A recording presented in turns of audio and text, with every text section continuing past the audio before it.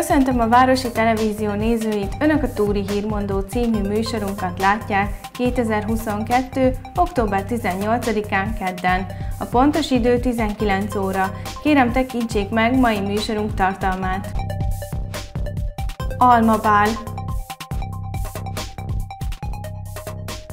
Rendkívüli támogatás igénylés Szüreti bál A múlt héten került megrendezésre a Csodavár óvodában az Alma hét, amelynek lezárása az Almabá volt. A gyermekek ezen a héten erre a gyümölcsre fektetik a hangsúlyt, különböző kreatív kézműves dolgokat készítenek ezzel kapcsolatban. A részletekről Patkós Éva intézményvezető nyilatkozott. A mai napon kerül megrendezésre itt a Csodavár óvodában az Alma Bál, illetve egész héten készültek a gyerekek különféle érdekességekkel. Mit tudhatunk erről? A gyerekek részére ez egy nagyon nagy ünnep, meg egy nagyon nagy érdeklődésre ad számot, mert egész héten a gyerekek arra készülnek, hogy a hétvégén, ami történik a mai napon, arra felkészüljenek. Először is az almabál az, ami egy nagyon fontos esemény lesz, ami ma lesz, de a hétre való felkészülésnél az óvodapedagógus kollégáink az őszre készítették a gyerekeket, őszi termésekkel kapcsolatosan volt egyfajta e, ismerkedés, és ezek a elkészült kézi munkák, amelyek hát a gyerekek a csoportokban elkészítettek, az most díszíti az óvodáinknak a falát, az, az elkövetkezendő a szülők is megnézhetik ezeket. Mi nagyon boldogok vagyunk, mert olyan szépen dolgoznak a gyerekek, annyi mindent meg tudnak csinálni, a legkisebbektől a legnagyobbakig. Aztán a mai nap folyamán pedig az almabál lesz. Az almabál egy olyan szokás, hogy oda a belépő egy-egy alma. Ezt kosárba helyezik majd el, és amit majd meg is lehet nézni majd, amikor bemegyünk, és egy koncertet kapnak a gyerekek, a koncert pedig Molnár Orsi lesz az, aki jó kedvre deríti a gyerekeket. Két turnusban fogjuk ezt megoldani, az első turnusban lesznek a kisebbek, a következőben pedig majd a nagyobbakat táncra perdíti majd az előadóművész. Nagyon jól szokták érezni magukat a gyerekek, ez egy igazi kimondottan közösségépítő, közösségfejlesztő műsor, amire mindenki nagyon szívesen készül. Úgyhogy ez lesz a mai nap folyamán. Ugye említette, hogy nagyon szokták szeretni a gyerekek, mennyire várják már így a, az őszi készülődéseket a, a nyár végén, ezeket a az eseményeket? Tulajdonképpen a kicsik még nem, viszont a nagyoknak több feladatot adnak ilyenkor az óvodapedagógus kollégák, hiszen nekik nagyon fontos az, hogy egy kicsit a gyűjtő munkába is részt vegyenek, az ősszel kapcsolatos ismereteiket bővítsék, ezért őszi gyümölcsöket hozhatnak, faleveleket gyűjthetnek, olyan sétákat tesznek, amikor a környezetnek a változását megfigyelhetik, a fáknak az elszíneződését, a vizeknek a, az a, a, a mienségét is megnézhetik. Ezek olyanok, amelyekben jó kis ismereteket tudnak szerezni, amelyből aztán utána tudnak építkezni majd később, akár az iskolában is. Most pedig az a legfontosabb, hogy úgy készüljenek föl, hogy utána pedig ezek kézi munkába is, vagy az ismereteiknek a elsajátításába, el, elmélyítésébe ez a továbbiakban mindenféleképpen megjelenjen. Nagyon készülnek rá a gyerekek, szívesen látogatják ezeket a programokat. A kisebbeknek ez egyfajta bevezetés arra, hogy az óvodai szokások milyenek, a nagyobbak pedig már igazán ügyesen meg, megtalálják a helyüket.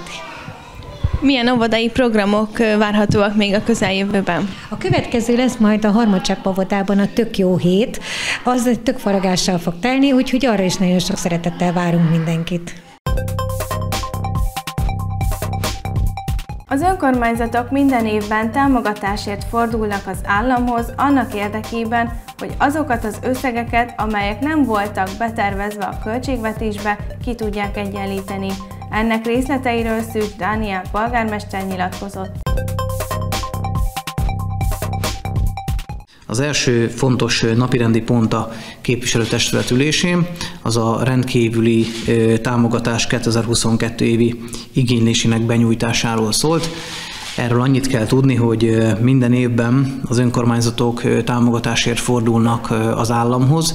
Itt konkrétan a támogatásnak a miértje és a tartalma az az, hogy az önkormányzatoknak rendszeresen vannak olyan számláik, amelyek a költségvetésben vagy nem voltak tervezve, nem voltak tervezhetőek, vagy túlmutattak azon a mértéken, ami be tervezve az önkormányzati költségvetésbe, és ezáltal olyan fizetési kötelezettségei keletkeznek, ami nem volt betervezett, vagy nem volt betervezhető. Ezzel kapcsolatban mezőtúrás önkormányzata is összegyűjtötte azokat a számláikat, amelyek nem kerültek még határidőre kifizetésre, és ebben kérik Magyarország kormányának és az államnak a segítségét a központi költségvetésből. Ezt minden évben egyébként benyújtja az önkormányzat, változó ennek az összegnek a, a mértéke. Most jelen évben ez 24 és 30 millió forint közé tehető a pályázat összeg. Meglátjuk, hogy a pályázatnak milyen eredménye lesz. Erről döntött a képviselőtestület, hogy ezt benyújtjuk, és egyhangúan támogatta a képviselőtestület. Október 14-én hagyományos módon szervezte meg a Mezőtúri Hagyományőrző Klub a Szüreti Bált. A bálon különböző előadásokat hallhattak, nézhettek az érdeklődők. A nap részleteiről, a bál hagyományairól Herceg Antal klubvezető nyilatkozott. A mai napon került megrendezésre hagyományosan a Szüreti Bálit mezőtúron, a mezőtúri hagyományőrző klub szervezésében. Mit lehet tudni a programokról? Közel 20 éve már mióta itt vagyok ebbe a klubba, hagyományokkal igen keményen foglalkoztam, sőt, jövőre is meg tudom ígérni, hogy foglalkozni fogok. A mai nap is úgy kezdődött, mint korábban a többi. De van kivétel. Mások a szereplők, mások az előadók. Sokkal több klubból jöttek el, színesebb volt a hallgatóközönség, a nézőközönség, és úgy gondolom, amit a meghívott vendégek most produkáltak, az több, mint rendhagyó. Itt megtaláltuk a ünnepséghez kapcsolódó minden formát, a verset, az éneket, a mondókát, a kezdésben, befejezésben, minden olyan ö, gondolatot próbáltam összeszedni, ami kapcsolódik a hagyományhoz. Meg tudják jelezni a résztvevők, és nem untatom velük őket. A taps azt mutatta, hogy érdemes volt vele foglalkozni, Igaz, hogy nagyon sok munka volt előtte, mert valakinek össze kellett hangolni, meg kellett szervezni, és kellett hozzá segítség is, hogy a végén úgy felejtsük el ezt a napot, majd délután nem tudom mikor, hogy élvezet volt itt lenni, élvezet volt hallgatni, és kikapcsolódva megyünk haza. A szüreti bálon hagyomány az étkezés, milyen ételek készülnek antibácsiék? Egyszerű hagyomány étkezést kínáltunk most eh, ebédre, zsíros kenyér és hozzájáró zöldségek, gyümölcsök, eh, különböző eh, olyan dolgok, amik valamikor, akár ezer évvel is ezelőtt már étrenden volt a szüreti bál alkalmával rendezett ünnepségeket. Ugye nem maradhat el a zsíros kenyér. Ez a zsíros kenyér többfajta zsírból tevődik össze, ezt ki miért akar, olyat választ, de itt az önségekből a hagyma, a paprika, a banán, alma, szöllő, körte, én azt hiszem, szinte mindent el is mondtam. Ha csak mindegyikből keveset teszik, az is már elég egy ebédre. Mi a célja a rendezvénynek? Miért rendezik meg évről évre újra a születi bált? Milyenek a története, illetve a hagyománya? Mi a célja? A célja az, hogy a fiatalság meghallja azokat a szavakat, azokat az eseményeket, ami valamikor hajdanán mondhatnám azt, hogy több mint ezer évre tekint vissza. Nem túlzok. Itt megtaláltak minden olyan mozzanatot ebben a műsorban, amit a fiataloknak felajánlunk, hogy ápolják tovább, próbálják ők is a maguk formájába hozzáillő eseményekre úgy formálni a előttük, állam, előttük lévő ö, eseményeket, hogy ez a szüreti bál mindig kellemes és hangos, és vidám, szórakoztató legyen. És én bízok benne, meghallgatva itt az utolsó ö, vendégszereplőt, aki még iskolába jár, általános iskolába jár, ő már biztos nem fogja elfelejteni ezt a néhány percet, amit itt töltött köztünk. Sőt, abba is bízok, hogy másoknak is átadja. Ehhez én csak gratulálni tudok, és ha lesz lehetőségem a jövőbe, patronálni is fogok. Itt a háttérben láthatjuk, hogy a klub tagjai, a hölgyek nagyon szép magyar népviseletben vannak. Milyen műsort adtak elő? Hát a klubtagok mondhatnám azt, hogy több mint egy hónapja készültek erre a 10-12 perces műsorra.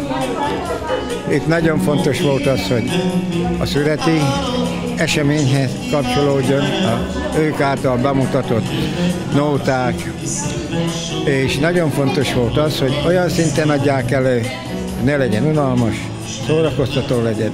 És mondhatnám azt, hogy a meghívott vendégek talán tanultak is belőle. A Hagyományőrző Klubnak több vendége is van, társklubok. Kik képviseltetik magukat a mai rendezvényen? Hát hirtelen mindjárt nem tudom felsorolni, de tudom, hogy Mezőtúron 72 olyan klub van bejegyezve, aki valamilyen szinten működik, de itt 13 klub részt vett.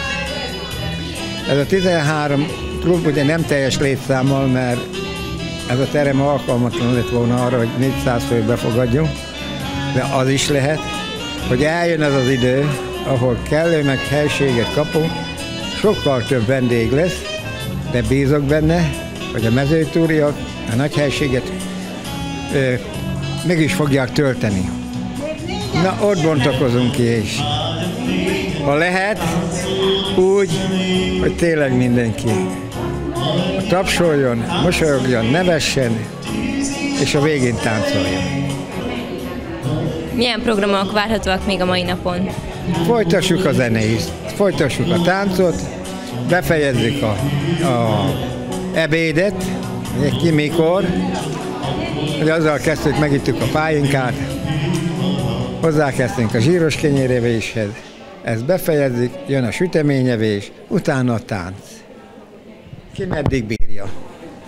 A Mezőtúri Hagyományőrző Klubnak milyen rendezvényei várhatóak még a közeljövőben? Készülnek-e még esetleg a 2022-es évre valamivel, illetve hogyan zajlanak a klubfoglalkozások?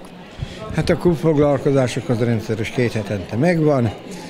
Keményen készülünk minden egyes alkalommal, mert ha elkezdjük februárra Batyusbát, utána megállhatatlan egészen a Szüreti Bálig, Előttünk van az évzáró ünnepség, itt az évzáró ünnepségen döntünk majd, hogy mi lesz jövőre, merre fogunk indulni, és figyelembe véve a mostani gazdasági helyzetet, mire leszünk képesek anyagilag.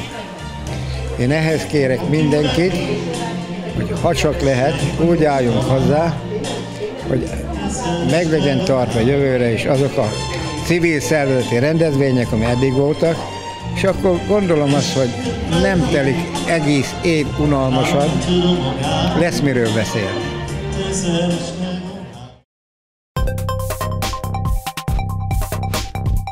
Kedves nézőink, köszönjük a figyelmet! Önök a Túri Hírmondó című műsorunkat látták, friss hírekkel holnap is várjuk Önöket. Addig is minden jót, viszontlátásra!